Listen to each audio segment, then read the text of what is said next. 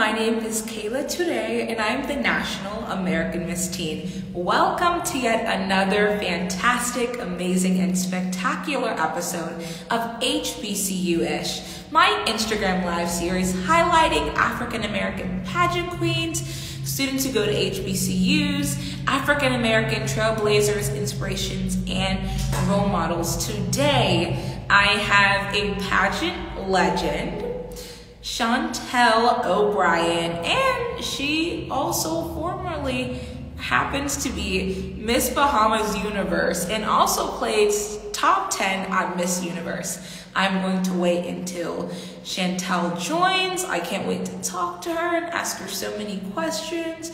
And thank you all for tuning in live.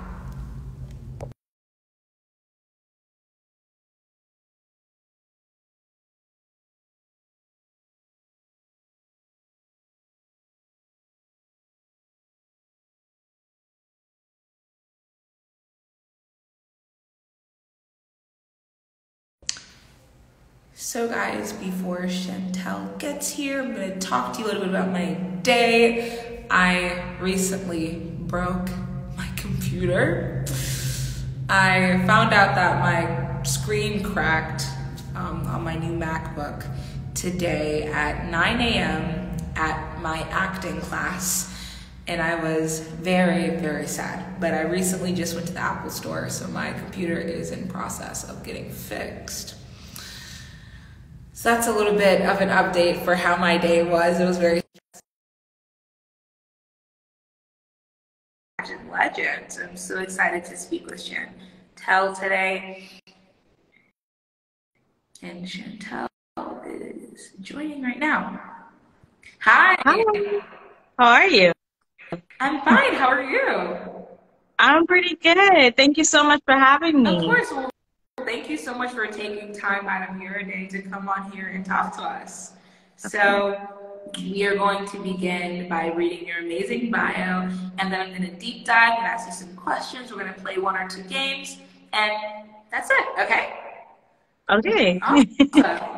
it's a long a motivation bio, so if you have to cut it short, you can do that. Yes. Okay, awesome. I'll try to cut. A motivational speaker, entrepreneur, and Christian, Chantel considers charity and mentorship to be the core of her identity. Chantel obtained a Bachelor of Administration degree in business expertise from a college in Scotland.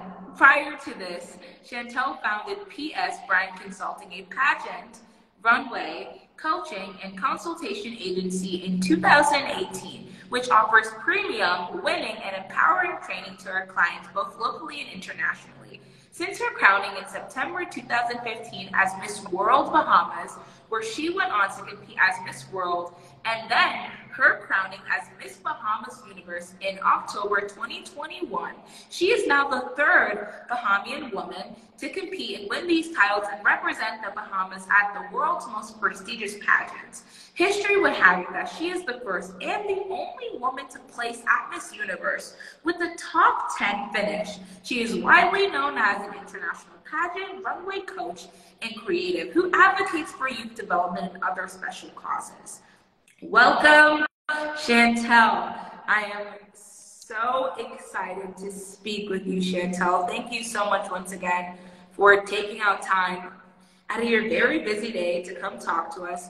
So we're going to start with our game. We're going to change it up a little bit. And this game is Guess That Quote. I'm going to give you three options. One of those options are the answers. And you're going to pick one out of three options. You guys can also help Chantel out. Okay. And give her maybe a hint. Are you ready? I'm ready. Awesome.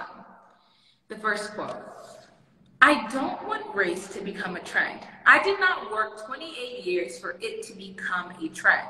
Was this said by Tyra Banks, Beverly Johnson, or Naomi Campbell? Who said that? Um, hmm, was it Beverly? Is that your final choice? Hmm. Maybe Tyra, but I, I wanted to know if I want to stick with my my first choice. Let me think. Comment down below, guys, if you know the answer, if you want to help. If you want to help me out. Who said that? I don't, I'm not aware of who said that, but I, I, I don't and forgive me, I may not even be too aware of who Beverly Jackson is. they're all um, models. They're all models. Okay. Um, let's go with Tyra Banks. Let's go. Tyra. Okay. Tyra Banks is incorrect. It was Naomi Campbell. Ah, okay. Okay. Interesting. Okay, next one. Don't worry, we have a few more that you could definitely get points on. Okay, next one. Like comedy, horror has an ability to provoke thought and further conversation on real social issues in a very powerful way. Was this said by Jordan Peele, Tyler Perry, or Ava DuVernay? Um, I'm gonna say Jordan Peele since he's in the he's in the horror mm-hmm. thriller kind of genre of, yes. of filmmaking. That's correct. One point, yay! Next one. now, now we're in the game. yes, we're in the game. Next one. I'd rather regret the risk. The risk that didn't work out than the chances I didn't take at all. Was this said by Simone Biles, Gabrielle Douglas, or Usain Bolt? I'd rather take the risk. Hmm. I don't know who would have said that. Um, I don't know who said that. I'm gonna go with Simone. Simone's correct. Lucky guess. Okay. Another point. okay. One more. Okay. Belief in oneself and knowing who you are. I mean, that's the foundation for everything great. Was this said by DJ Khaled, P. Diddy, or Jay Z?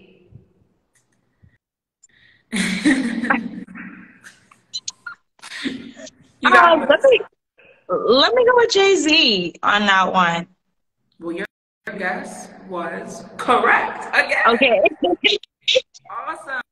Three I love it. So we did our little game, and the first thing that I want to ask you is about your pageant career. First and foremost, I want to congratulate you on the the amount of titles that you've had and i actually remember watching you competing at miss universe and i was like she is so fantastic. So congratulations especially on making top 10 can you talk to us a little bit about your pageant journey and specifically about how it was competing at miss universe yeah so thank you first and foremost i appreciate that my pageant journey started in 2013 actually and my initial competition was for the Universe Bahamas title. So that first competition was for the hopes of going to Miss Universe. And that year I placed first runner up. So that 2013 I placed first runner up and then I entered for the Miss World Bahamas title. So following that 2014, 2015, I competed for Miss World Bahamas. I placed second runner up the following year. And then 2015 is when I won the Miss World Bahamas title. And so I had the opportunity to compete at Miss World in Sanya, China. And that was uh, phenomenal. And it, it's still something I remember to this day. And really and truly, I, I did a lot of smaller pageants and things like that. Um, but in the Bahamas, pageantry is just a little bit different. A lot of the, comp- for example, we have franchise holders that hold particular systems. And so I wish I had the opportunity to try out other systems as well. Um, but I did try out the Universe title first and then World. And then going into 2021, I, I never really thought about entering to compete for Miss Bahamas Universe again, actually. I was pretty much over it. I started my coaching business in 2018. So that was my main focus. And so when, when it was placed in my spirit, when God was like, okay, go ahead and compete, I was like, I don't want to. And I was really fighting him on it. And so it really turned out, you know, with obedience, it, it worked itself out.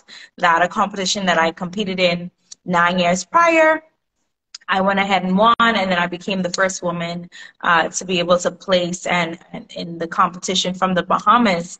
And my Miss Universe experience was, yeah, my Miss Universe experience was phenomenal. I really enjoyed it.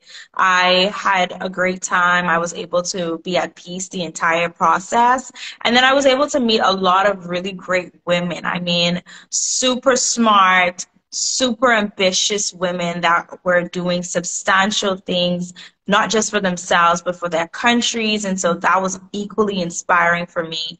And so it's a, it's a, it's a moment that I really wish I could get back. It's, it's really one of those moments I wish I could rewind and experience for another moment again. But I just, I'm really thankful to have had the opportunity. I love that. And a lot of people that are watching are actually current pageant titles title holders or prospective title holders, people that would love to win a title. Do you have any advice for anyone that dreams of becoming Miss Universe? Maybe any tricks or tips of how to get close, or maybe even to be able to win that national title to represent their country? I think one of the things I really learned throughout my journey is how much more mature I became each time I competed. And so for anyone that might have competed and they just haven't won as yet, or, you know, maybe they haven't placed or anything like that, I would definitely say don't be discouraged. I think that if you can look, look for the lessons that are in those quote unquote losses, you're able to use those to actually better yourselves and help your perspective so that when you do re-enter, you don't enter as the same person, if that makes sense. And then for anyone that's competing for the first time, or maybe you have a state title, whatever have you, I think it's really important to go in it with a, a thought process of just enjoying yourself because a lot of times we put so much pressure on ourselves. We are overthinking and it tells in our face on stage. It tells in our face on, you know, in judges interview. It tells in our face when we're just engaging with, you know, staff and other people around us. So I just say enjoy the process, take take it easy. And I would say invest in yourself. A lot of people don't want to invest in themselves when it comes down to um, maybe getting a coach or maybe spending time working more on their platform or whatever have you. But, you know, no good thing is going to happen if you don't put in the proper investments and you don't take the right and appropriate channels towards your dreams. So those would be one some of the things that I think would really help you not just win, but really um, enjoy your win. Like it, it won't just be like, oh, I want, but you really got so much from it. It'll be fruitful. I love your answer. And one of the many amazing things that you are known for is your fierce runway walk. So, can you maybe give us a trick or tip on how you were able to learn how to walk so amazing? Yeah, listen, it takes it takes the right shoes first of all. You definitely need the right heels and you need heels that definitely speak to your feet. as weird as that sound sounds. Um but it really comes down to just being confident. Don't be intimidated by the stage or by what you think you can't do. I think if you set your mind to a thing, you can definitely do it. And it's about just owning, you know, you. Own it, owning yourself to the point where it doesn't matter how people view you in that moment as you're on stage and you're walking your mindset isn't about everybody around you you know, it's about yourself setting and creating the moment that you're going to be able to look back on and say, yeah, I definitely was taking my time. I had fun. I really brought out my best. And so get the right heels, get the right mindset, and practice, practice, practice. Nobody's walk is going to look the same. And so just because your walk doesn't look like someone else's walk doesn't mean that your walk isn't great. So that's first and foremost. Your walk is going to be signature to you, to your personality, to your vibe, to your flavor, and that's okay. I love that answer. So since we talked a little bit about your fantastic pageant journey, I want to talk more about HBCUish and what Black History Month means to you. So, can you talk to us about what Black Girl Magic means to you and how you're able to spread that message in your everyday life? Yeah, so I think that black, I mean, coming from a Caribbean country, as you know, the population is mostly black, you know what I mean?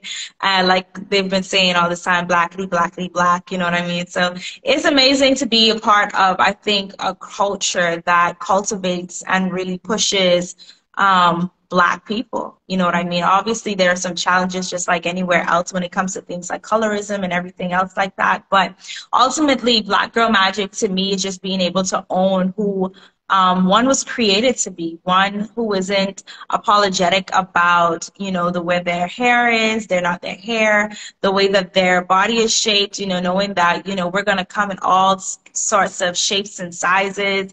Also knowing that our personalities are going to be bold it might be different you know it might be more laid back it doesn't matter but we don't need to apologize for being who we are.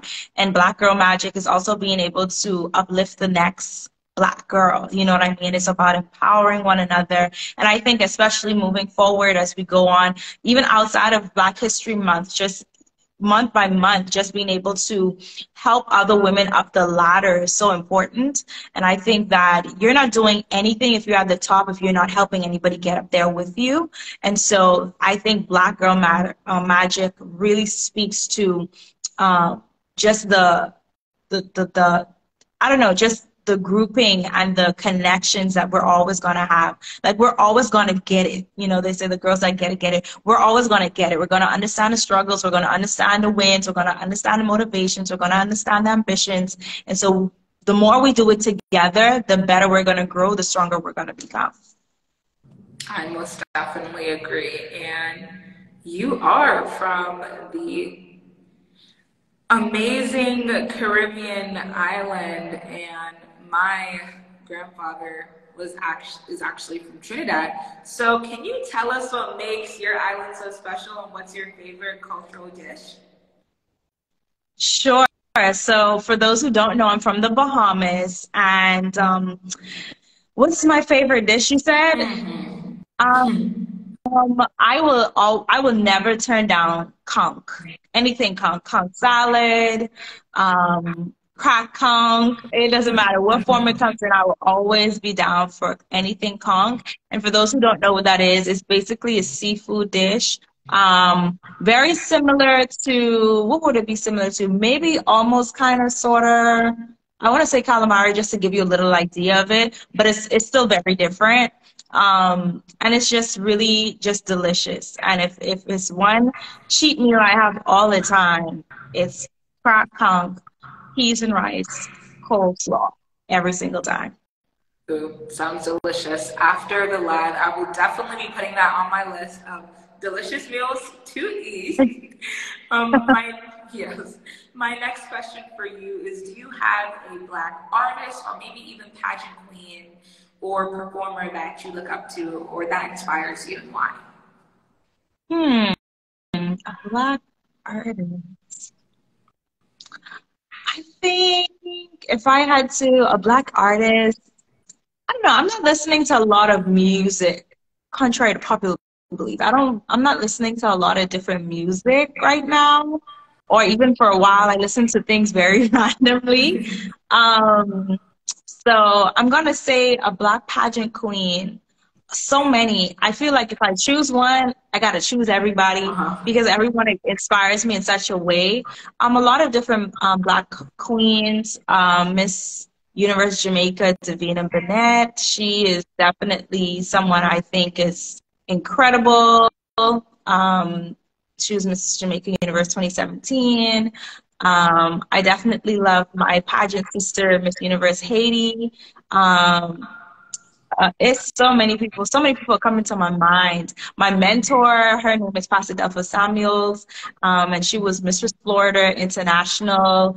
It's it's a lot of queens that I know that I think in different ways they convey different types of confidence, different types of grace and elegance and poise that I connect to, that I um, continue to want to walk in that same pathway with them. So those are not my final answers. I have like a long list, but those are the ones who come to my mind right now.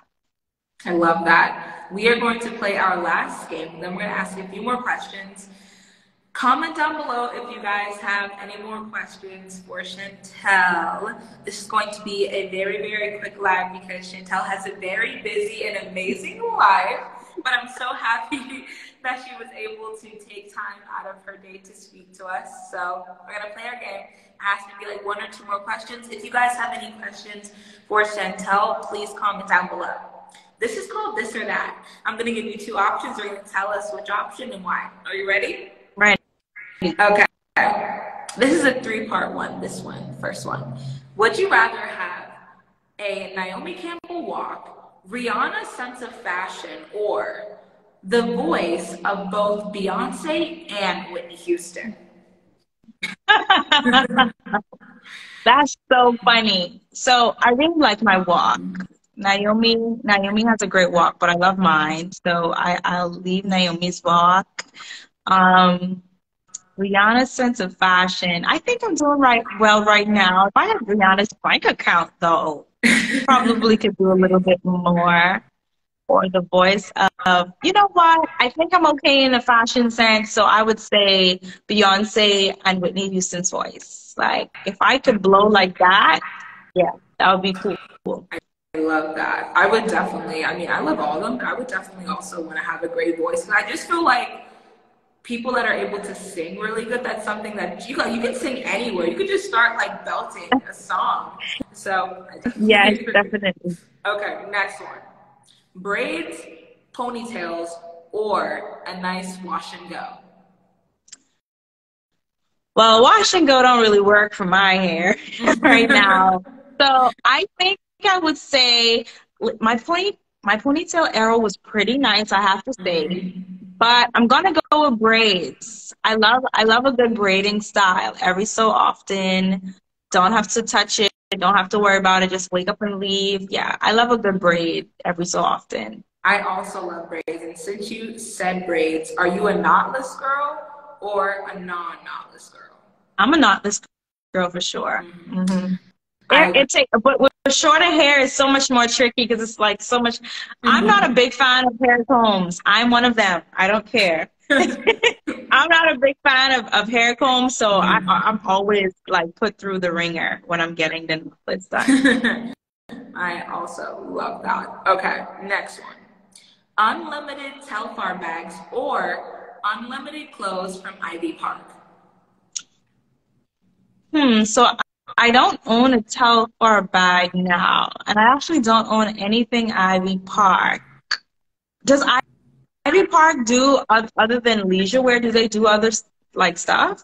I, like other stuff? I don't know. I think they might have athletic wear. I could be wrong.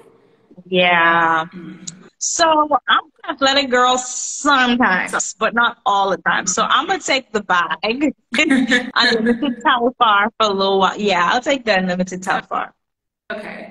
And my last one for you, this might start some controversy. Black Panther or Wakanda Forever? Wow. Wow. Wow. This is hard. Um, wow.